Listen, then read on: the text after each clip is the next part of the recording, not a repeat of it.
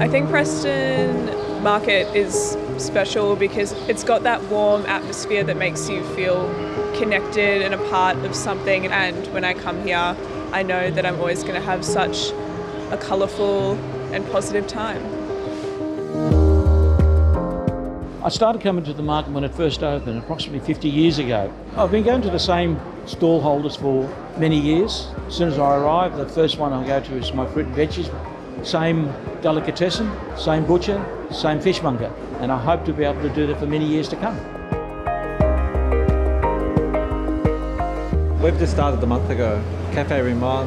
That's my name in Lebanese. I never came up with the name, but I was happy with it when I heard it. The Preston Market to the local community is just a festive place with everything. You can do your shopping, you can have your meals, and it's got an atmosphere where you'd like to meet friends for a coffee or a bite.